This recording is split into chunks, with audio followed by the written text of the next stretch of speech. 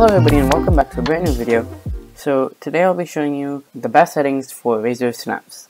Um, just really quick before I get started, over 90% of my viewers aren't actually subscribed, so if you enjoy uh, the video, please subscribe. Uh, it's completely free and you can always unsubscribe if you don't want to be subscribed anymore. Uh, but for those of you who are subscribed, thank you very much. So anyway, let's get started. So um, this is um, a profile I created for Razer Synapse. I have the Razer Lancehead uh, wireless mouse, and so I'm just going to be going over what I recommend for settings. These are what I use. Um, of course, you can have different settings if you want, but it's just my recommendation.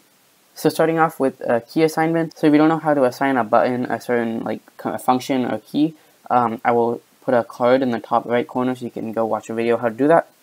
But um, anyway, so this is what I have. So I have uh, left click, right click, just standard, and then scroll click is also standard. Scroll up, scroll down, um, and then I have for this mouse button right here, I have Control C, which is to copy, and then the uh, mouse button underneath is Control V, which is to paste.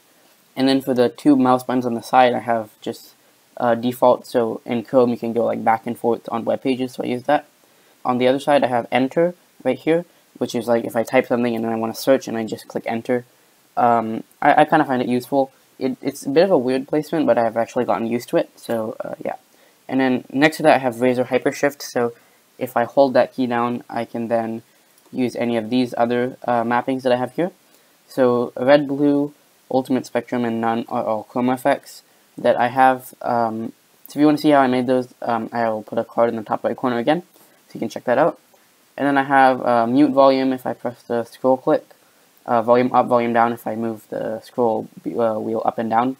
And then I have control X, because I use control C more often, but if I do want to use control X, I just uh, do this uh, with the, this mouse button here. And I have control A, which is to select all of like a, a, piece of text. And then here on the left, I have play, pause, and next track for like uh, music or something like that. Um, and yeah, so those are basically the key mappings and assignments that I have. Now if I go to performance, you can see I have um, uh, DPI, which is pretty much how sensitive the, the mouse is to your movement. Um, I have mine at 4500. And so for polling rate, I have 1000. Uh, apparently that uses up more CPU than like having 500. And uh, the difference is like not really noticeable, but I just use 1000 since I have a pretty good CPU in this computer.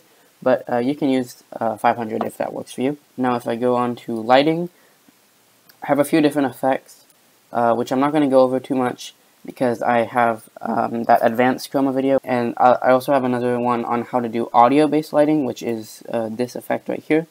But yeah you can uh, go to Chroma Studio and uh, set those up if you would like. And I'll show you how to do those effects in um, those videos. So yeah go ahead and check those out if you want. And then yeah so I have brightness uh, which is like how bright the lighting is on the um, on the mouse. So I have it at 100 and then I have um, switch off lighting. So sometimes I forget to turn off my uh, mouse when I like uh, go somewhere else.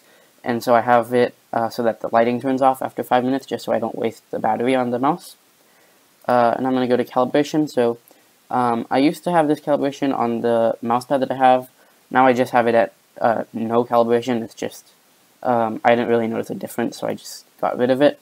But if you want to figure out how to calibrate your mouse, I'll put a link to that video again in the top right corner.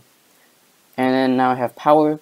So uh, wireless power saving. So um, this is the uh, mouse will enter sleep mode if it's idle for this one minutes. I'm actually going to reduce this now that I think about it to like five minutes.